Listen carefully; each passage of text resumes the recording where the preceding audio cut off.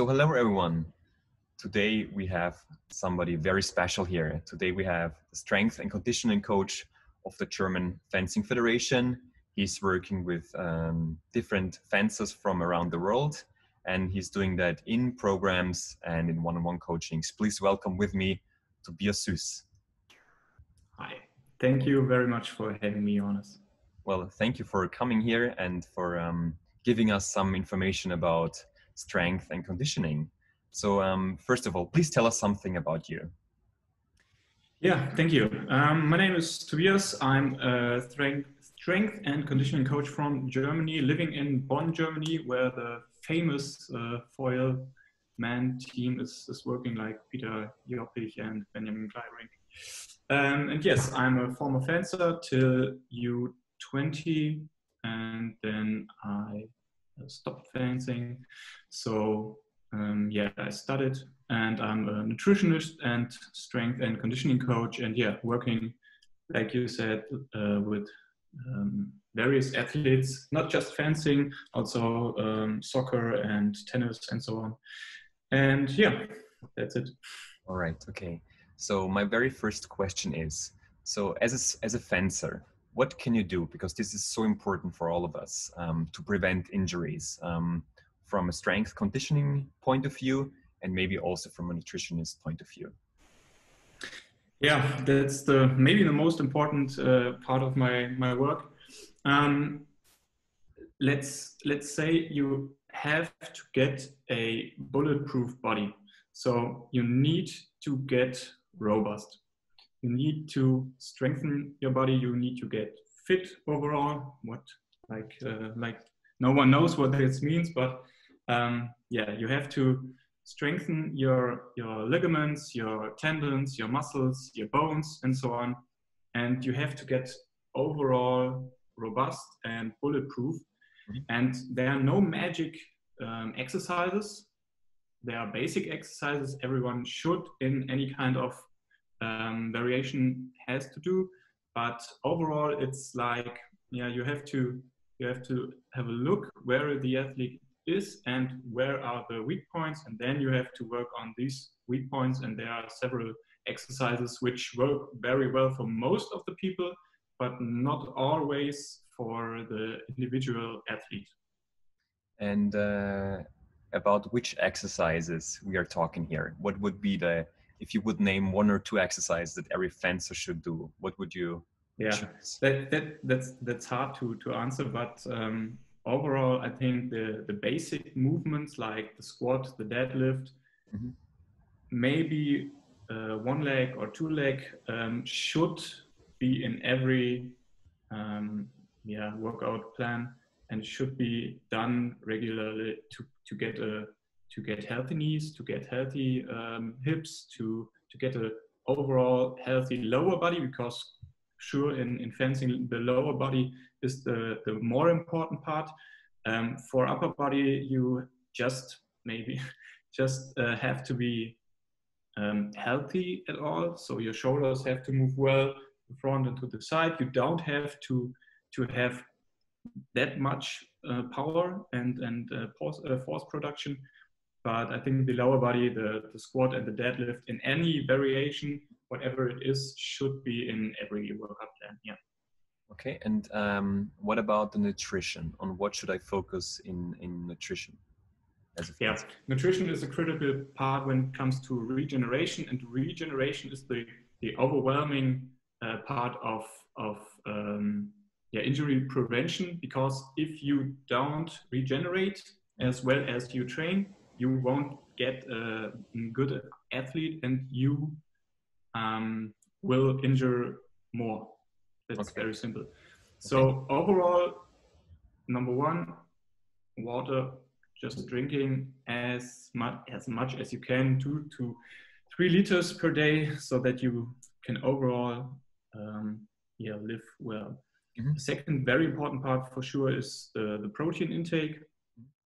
Um, and the third overall part, I would say, is the overall healthy nutrition with a lot of greens, a lot of fruits, a lot of proteins, good carbs as uh, oats or rice or something that you uh, like. Um, and third part, uh, for sure, good fats from fish, from from uh, seeds, from good oils, from olives, and so on. So the the, the nutrition part should should be overall um, good over the day and over the, over a lifespan. Mm-hmm. I would, uh, I would say. Um, what you should be focusing on as a fencer in the off season. So for I mean now mm, some of some countries are still in lockdown, like um, I don't know Singapore for example. Other countries are slowly getting back to normal, like US and for example we in Austria we we can trim normally, um, but we still have off season. So on what can a fencer or what should a fencer should be focusing on uh, in the off season? Yeah, for a strength and conditioning coach, the off season is the most important part of the season. Mm-hmm. Um, that's the that's the time where you can can build up your body, where you can gain strength, where you can gain explosivity, where you can get faster and stronger. And I would say the the main um, point of focus should be on um, going to the gym and uh, doing strength training two to four times a week, maybe, and gaining strength in the squat, the deadlift, the press, the maybe pull-ups if you if you want to improve them, um, and gain um, basic strength so you can um, you can focus a little bit later on power and um, speed development. Mm-hmm. And in the period of competitions, um, what do you think? How often should a fencer should should go to gym or should do some some endurance training, conditioning training? Yeah, yeah. Um, conditioning is not that important if the fencers are fencing well in fencing um, fencing training. So if you're just sitting on your bench and not doing anything, you have to do conditioning. But if you fence regularly and two to three hours a day, maybe, then maybe the conditioning is not that important. Um, strength training should should be on a on a consistent level, maybe two to three times uh, per week. It's not always one hour. It just can can be go to the gym, do some squats, some deadlifts, um, so that you can can hold your your strength level and you, you will not lose uh, strength and muscle mass um, yeah, I think two to three times per week um, over the week. When you have uh, competition, then maybe one to two times. If you have uh, no competition, maybe three times. Yeah. Okay. And because a lot of you know a lot of people, a lot of athletes ask us about um, what to do in preparation of a competition, like the direct preparation before a competition on the competition day. What would you um, do, or how would you what yeah. do you recommend? Yeah, it's important to get a routine. I think everyone has a routine in, in some uh, in some some manner, but um, I often see athletes sitting on floor, stretching the hamstrings a lot and hard. Um, this is one thing that should be avoided. So hard stretching, like for one minute, for two minutes on the hamstrings or the, the, the legs, um, will, reduce, will, will reduce your explosive power mm. output. Um, so we have to think about what do we need in fencing. Fencing is a sport, so we have to move. So the preparation has to uh, to to start with moving. Some you can walk around. You can um, rope skipping is very very uh, uh, popular, and this is a very good uh, type of warming up. Um, and then you have to sorry do some work with uh, resistance bands because this you know got quite yeah. popular now yeah yeah um, you have to to increase it slowly so you start maybe with rope skipping five minutes. Then um, you have to put in some power that could be jumping sprinting change of direction. This can be um, resistance sprints with uh, resistant bands. Yeah. And there for sure it's it's helpful to have someone uh, to maybe hold it.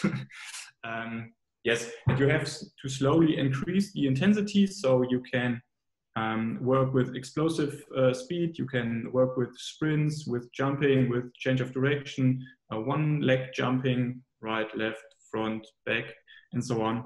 Um, yeah, and then fencing and winning the tournament. All right, and after you won the competition, um, how would you generate quickly after like a, a very hard competition? What you would say? Yeah, regeneration is, is overall not complicated, but it's hard to to integrate into uh, into your daily life. So it's drinking, eating, and sleeping. That's it. Mm-hmm. That's the three most most most most most important things. Um, drinking like regularly water, maybe with some uh, some carbs after or in um, in competition. Um, you have to get in your protein, you have to get in your vitamins um, and minerals from uh, greens and so on, and then you have to sleep, sleep, sleep. Quite around seven to nine hours should be done. It depends on your your age. Younger athletes a little bit more, eight to nine uh, hours. If you get a little bit uh, older, then maybe seven to eight uh, hours are enough. That's a little bit individual but yeah, sleep, eating, and uh, drinking is, is the most powerful regeneration tools uh, we have. And this has to be daily. So there is no, we, uh, yeah, the, every day has to be a good day for regeneration. Yeah. Okay. And my very last question. Thank you for all your information that you gave us and to all our fencers. Um, how we can reach out to you. Um, I told at the beginning, I was introducing you that you give one-on-one coachings also online, which is great. And you do, uh, you do it also over programs that you can book. So how can we reach or how can our participants reach out to you? Yeah, the easiest one uh, would be uh, via Instagram. So it's uh, at SUS, S-U-S, U-E-S-S, Sports Performance. Mm-hmm. Um, there you can find me. Uh, otherwise, there's an email. It's like s u e s s at fitness dot. No, that's wrong. Info at s u e s s dot fitness. That's mm-hmm. right. Sorry, that's a new one. um, yeah, that's the easiest way, and there you can contact me. Uh, contact me, and then yeah, online coaching is available uh, all over the world. Uh, I have athletes from Canada, from um, India, from um, yeah all over the world, and it's, it's, possible to to have a good um, yeah coaching um, wherever you want to be. Yes, so that's the, the, the, the perfect perfect uh, yeah that's perfect that's time to enhance yeah, your time. performance. Yes, yeah, so sure. all of your all of the details how you can contact Tobias.